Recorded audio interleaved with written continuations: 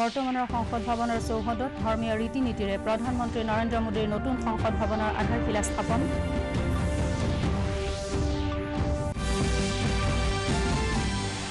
B T চিৰ নিৰ্বাচনৰ দ্বিতীয় পৰ্যায়ৰ ভোটগ্ৰহণত প্ৰায় আঠসত্তৰ দশমিক আঠ শতাংশ ভোটাৰৰ ভোটদান। কাইলৈ ভোট গণনা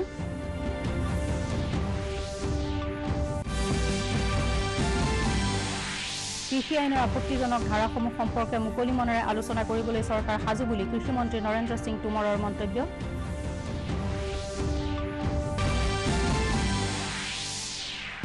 আৰু গুৱাহাটীৰ ছাত্ৰীবাৰী খ্ৰীষ্টিয়ান হাস্পতালত উত্তৰ পূবৰ প্ৰথমটো মাতৃদুগ্ধ বেংক স্থাপন।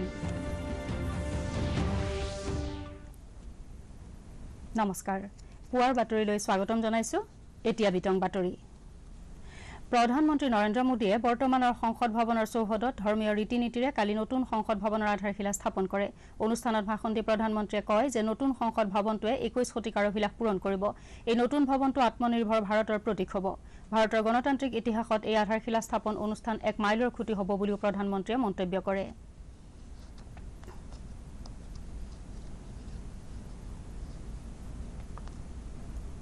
रचित हमारे वेदों में से ऋग्वेद में लोकतंत्र के विचार को समज्ञान, यानी समूह चेतना कलेक्टिव कॉन्शियसनेस के रूप में देखा गया है।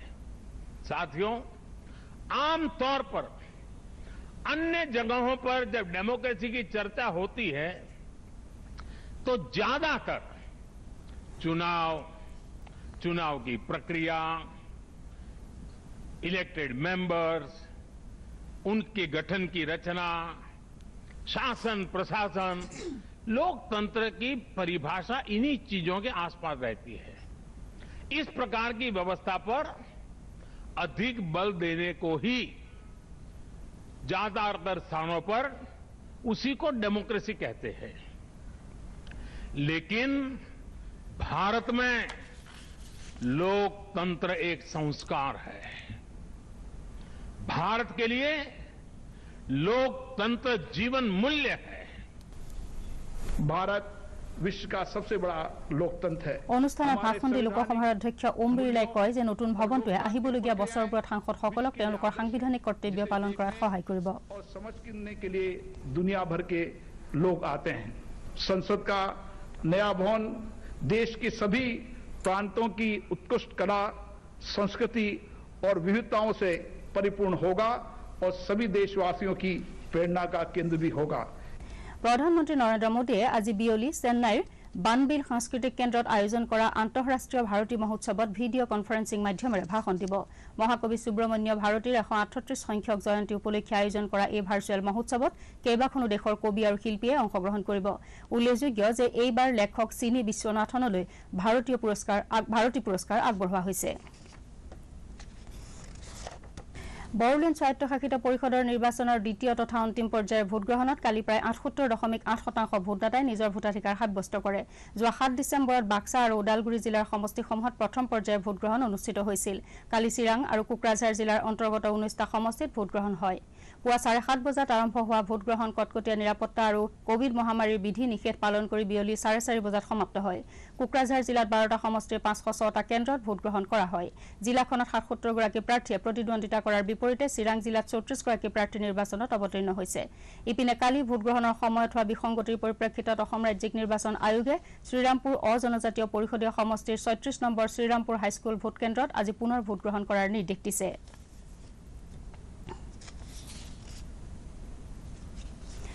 বড়োলেণ্ড আঞ্চলিক পৰিষদৰ দ্বিতীয় পৰ্যায়ৰ নিৰ্বাচনত চিৰাং জিলাৰ মুঠ সাতটা পৰিষদীয় সমষ্টিত কালি শান্তিপূৰ্ণভাৱে ভোটদান সম্পন্ন হয়। পুৱা চাৰে সাত বজাৰ পৰা ভোটকেন্দ্ৰসমূহত ভোটদান আৰম্ভ হয়। কভিড নাইণ্টিনৰ বিধি নিষেধ পালন কৰি ভোটাৰসকলে শাৰী পাতি ভোটদান কৰে।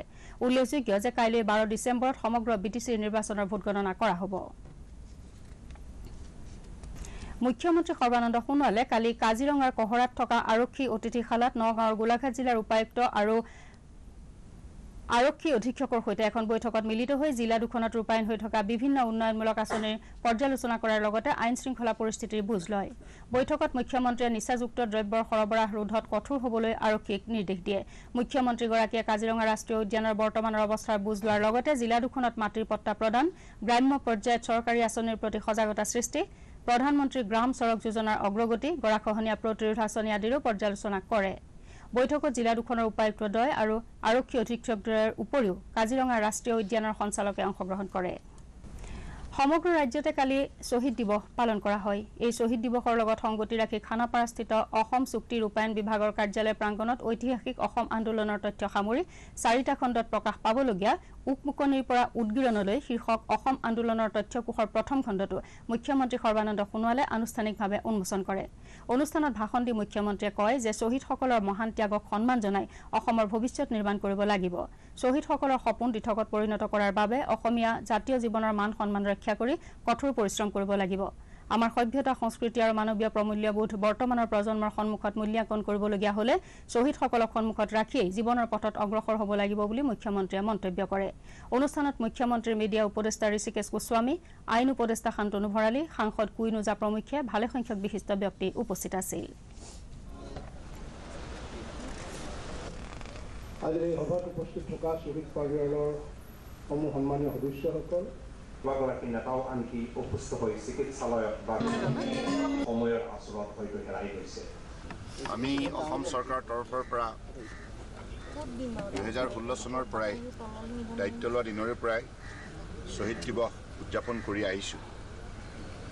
আমাৰ লক্ষ্য এটাই যে অসমৰ জাতীয় আন্দোলনত যিসকল বীৰ বীৰংগনাই আত্মবলিদান দিলে সেইসকলে আমাৰ জাতীয় জীৱনৰ শক্তিৰ প্ৰতীক ত্যাগৰ প্ৰতীক তেখেতসকলে শ্যাম চৰম ত্যাগৰ যোগেদি যি অসমীয়া জাতিক এটা শক্তিশালী জাতি হিচাপে বিশ্বৰ মানৱ সমাজত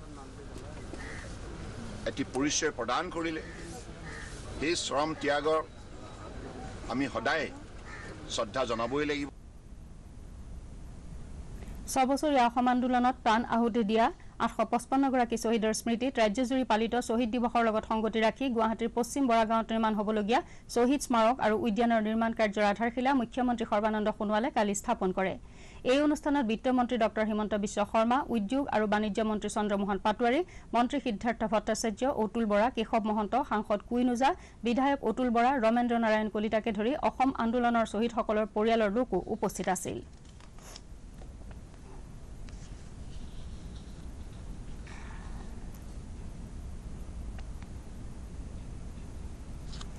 সদৌ অসম ছাত্ৰ সন্থাই কালি মঙলদৈৰ শ্বহীদ বাকৰিত সদৌ দৰং জিলা ছাত্ৰ সন্থাৰ উদ্যোগত আৰু মঙলদৈ ছাত্ৰ সন্থাৰ সহযোগত কেন্দ্ৰীয়ভাৱে শ্বহীদ দিৱস পালন কৰে। আছুৰ সভাপতি দীপাংকৰ কুমাৰ নাথে আছুৰ পতাকা উত্তোলন কৰাৰ পিছত সাধাৰণ সম্পাদক শংকৰজ্যোতি বৰুৱাই শ্বহীদ তৰ্পণ কৰে। শ্বহীদ দিৱস উপলক্ষে সৰ্বধৰ্মীয় প্ৰাৰ্থনা সভা আয়তীসকলৰ নাম আদিৰো আয়োজন কৰা হয়। অনুষ্ঠানত আছুৰ উপদেষ্টা ড সমুজ্জ্বল কুমাৰ ভট্টাচাৰ্যৰ উপৰিও বহু কেইগৰাকী জনগোষ্ঠীয় নেতাই অংশগ্ৰহণ কৰে। এই অনুষ্ঠানতে শ্বহীদ পৰিয়ালকো সম্বৰ্ধনা জ্ঞাপন কৰা হয়। সংকল্প লৈছোঁ যে জাতীয় শ্বহীদৰ ত্যাগক আমি অথলে যাবলৈ নিদিওঁ। প্ৰথম কথা অসমৰ জ্বলন্ত বিদেশী সমস্যাৰ স্থায়ী সমাধান অসম চুক্তিৰ আধাৰতহে হ'ব লাগিব। শ্বহীদ খৰ্গেশ্বৰ তালুকদাৰৰ মৃত্যুদিন আৰু এই দিৱসটোক আমি শ্বহীদ দিৱস হিচাপে প্ৰতি বছৰে আমি আয়োজন কৰি আহিছোঁ। কৃষিমন্ত্ৰী নৰেন্দ্ৰ সিং টোমৰে কয় যে কেন্দ্ৰীয় চৰকাৰে গ্ৰহণ কৰা কৃষি আইনৰ যিবিলাক ধাৰাত কৃষকসকলৰ আপত্তি আছে সেই সম্পৰ্কে মুকলি মনেৰে আলোচনা কৰিবলৈ চৰকাৰ সাজু আছে। নতুন দিল্লীত কালি সাংবাদিকসকলৰ আগত কৃষকক পুনৰ আলোচনাৰ বাবে আহ্বান জনাই তেওঁ কয় যে কৃষকসকলৰ স্বাৰ্থৰ কথা মনত ৰাখিয়েই কৃষি আইনৰ সংস্কাৰ কৰা হৈছে। চৰকাৰে মন্দিৰ শিকলিৰ পৰা কৃষকসকলক মুক্ত কৰিবলৈ বিচাৰিছিল যাতে তেওঁলোকৰ উৎপাদিত সামগ্ৰী তেওঁলোকে নিজে ধাৰ্য কৰা মূল্যত বিক্ৰী কৰিব পাৰে। কৃষক নেতাসকলৰ পৰা পৰামৰ্শ লাভ কৰাৰ আশাত চৰকাৰে বাট চাই আছিল যদিও তেওঁলোকে আইনখনৰ বাতিল কৰাৰ ওপৰতহে আকুৰগুজ হৈ লাগি থকা বুলি মন্ত্ৰীগৰাকীয়ে মন্তব্য কৰে। কৃষকসকলৰ ভূমি উদ্যোগপতিসকলৰ দ্বাৰা অধিকৃত কৰা নহ'ব বুলিও মন্ত্ৰীগৰাকীয়ে আশ্বাস দিয়ে।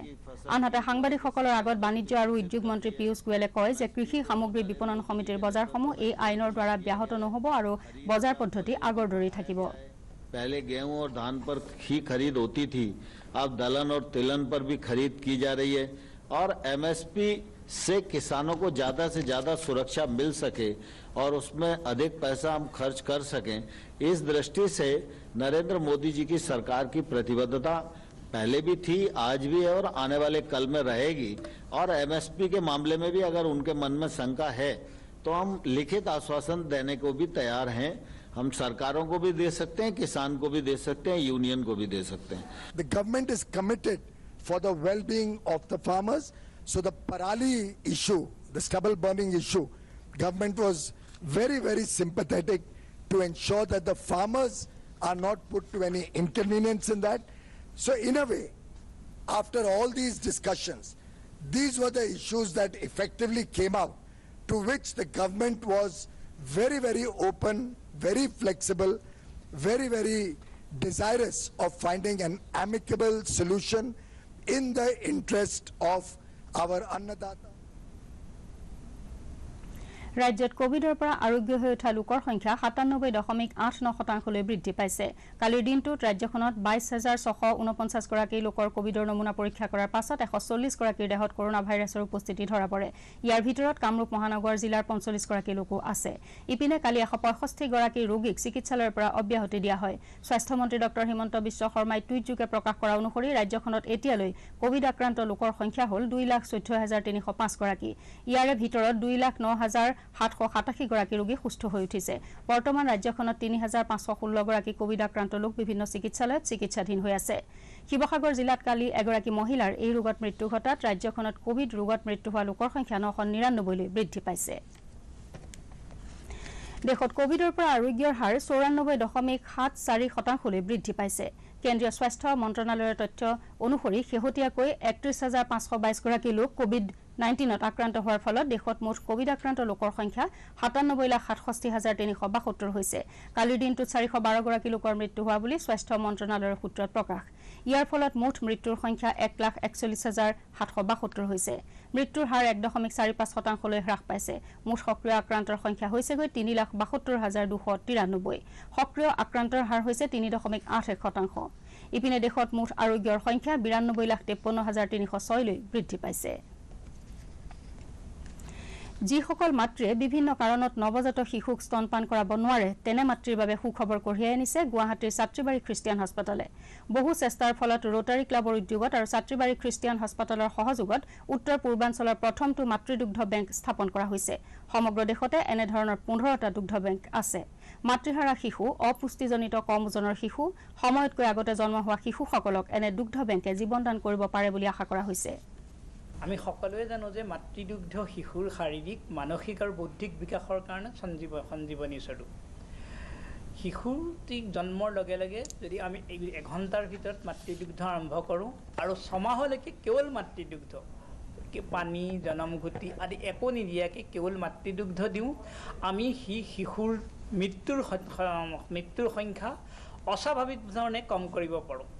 যদি আমি সকলো শিশুক কেৱল মাতৃদুগ্ধ দিওঁ কেৱল এক্সক্লুচিভ ব্ৰেষ্ট ফিডিং দিওঁ এই সংখ্যা ঊনষাঠিৰ পৰা আমি কমাই পাছতকৈও কম কৰিব পাৰিম। কাৰণ আণ্ডাৰ ফাইভ শিশুৰ মৰ্টেলিটি মৃত্যুৰ প্ৰধান কাৰণ মাত্ৰ দুটা ডায়েৰিয়া আৰু নিউমনিয়া।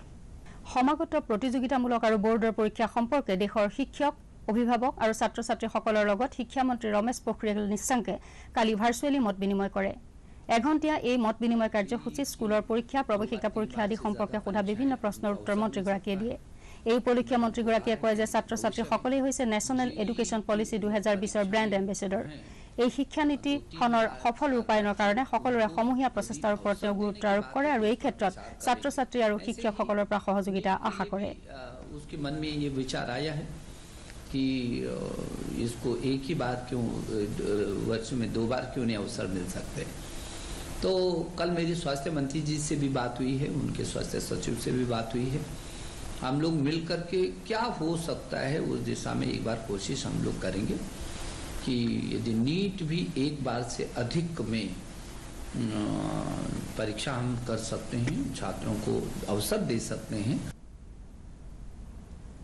ৰাভা হাছং স্বায়ত্ত পৰিষদৰ উদ্যোগত চান্দুবিত দহ লাখ টকা ব্যয় সাপেক্ষে নিৰ্মাণ হ'বলগীয়া আদিবাসী সমন্বয় ভৱন এটিৰ কালি আধাৰশিলা স্থাপন কৰা হয়। পৰিষদৰ চান্দুবি সমষ্টিৰ সদস্য নৃপেন চন্দ্ৰ ৰাভাই এই ভৱনটোৰ আধাৰশিলা স্থাপন কৰে।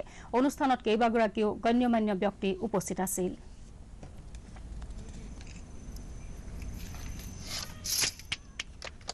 পৰিকল্পনা প্ৰচেষ্টা এইবিলাক ঠিকাদাৰ সন্মানৰ শ্ৰীযুত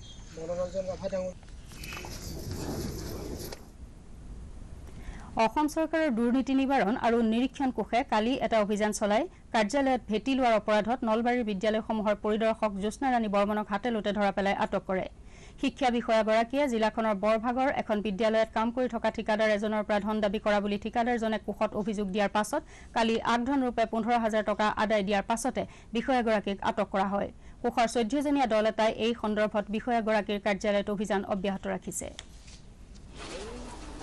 কিমান পালে? এই হাতেলোতে কিমান ধৰিলে? এইটো মই এতিয়া ক'ব নোৱাৰোঁ নেকৰাজনৰ কাম চলি আছে। হয়। কাক কেইজনক ধৰিব? এজন বাইদেউ কিমান টকা লৈছিলে? আপোনালোকেতো হাতেলোতে ধৰিলে। হাতেলোতে ধৰিলে? ইমান ক'ব নোৱাৰোঁ মই ইমানটো। কিমান টকা কিমান টকা লৈছিলে? মই ইমানটো ক'ব তেজপুৰ আৰু ৰঙাপৰা বিধানসভা সমষ্টিৰ প্ৰাক্তন বিধায়ক ৰাজেন বৰঠাকুৰৰ প্ৰথম মৃত্যুবাৰ্ষিকীত কালি প্ৰাক্তন বিধায়কগৰাকীৰ জন্মস্থান হলেশ্বৰত এটি অনাড়ম্বৰ স্মৃতিচাৰণ অনুষ্ঠানৰ আয়োজন কৰা হয়। এই অনুষ্ঠানত বিত্তমন্ত্ৰী ডঃ হিমন্ত বিশ্ব শৰ্মা সাংসদদ্বয় পল্লৱ লোচন দাস আৰু দিলীপ শইকীয়া বিজেপিৰ ৰাজ্যিক সভাপতি ৰঞ্জিত কুমাৰ দাস আদিকে ধৰি কেইবাজনো বিশিষ্ট লোকে অংশগ্ৰহণ কৰে। এই উপলক্ষে প্ৰেক্ষাগৃহ মুকলি পথ নামকৰণ ফলক মুকলি প্ৰতিমূৰ্তি উন্মোচন স্মৃতিগ্ৰন্থ উন্মোচন আদি কাৰ্যসূচীও সম্পন্ন হয়। আমাৰ মাজত নাই কিন্তু ভাবিবলৈকে মন নাযায়।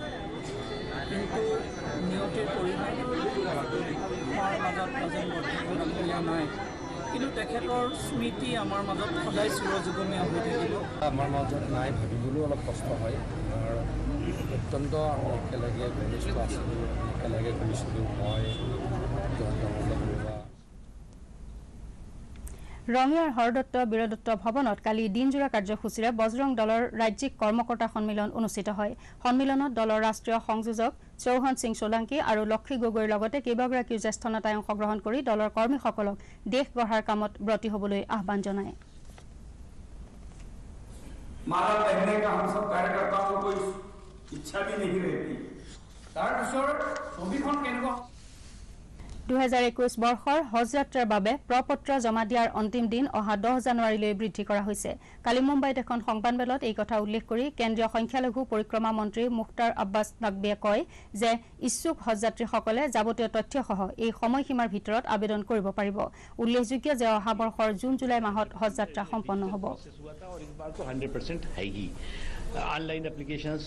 हुआ था और इस बार 100 percent online applications mobile app के ज़रिए एप्लीकेशन ये प्रोसेस हमने किया।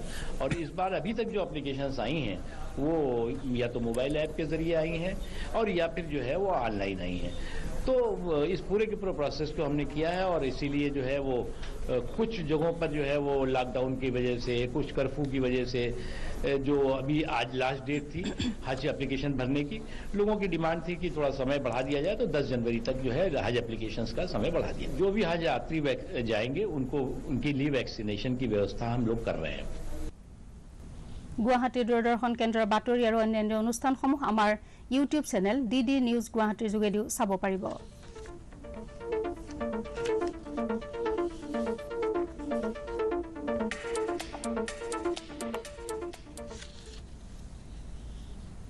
বাতৰি শেষ হোৱাৰ আগতে প্ৰধান বাতৰিসমূহ পুনৰ কৈ দিছো। বৰ্তমানৰ সংসদ ভৱনৰ চৌহদত ধৰ্মীয় ৰীতি নীতিৰে প্ৰধানমন্ত্ৰী নৰেন্দ্ৰ মোদীৰ নতুন সংসদ ভৱনৰ আধাৰশিলা স্থাপন।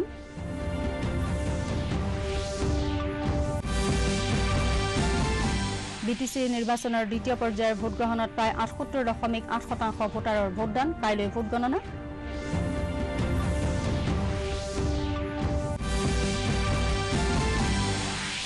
কৃষি আইনৰ আপত্তিজনক ধাৰাসমূহ সম্পৰ্কে মুকলি মনেৰে আলোচনা কৰিবলৈ চৰকাৰ সাজু বুলি কৃষিমন্ত্ৰী নৰেন্দ্ৰ সিং টোমৰৰ মন্তব্য।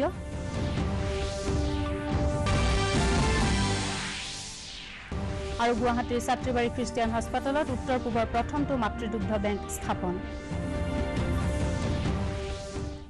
বাতৰিৰ পৰা বিদায় লোৱাৰ আগে এটা কথা মনত পেলাই দিছো। কৰোণাৰ বিৰুদ্ধে যুঁজত জয়ী হ'বলৈ শাৰীৰিক দূৰত্ব বজাই ৰাখক চাবোনেৰে সঘনাই হাত ধুই থাকক বা হেণ্ড ছেনিটাইজাৰ ব্যৱহাৰ কৰক আৰু সঠিকভাৱে মাস্ক পিন্ধিবলৈ নাপাহৰিব।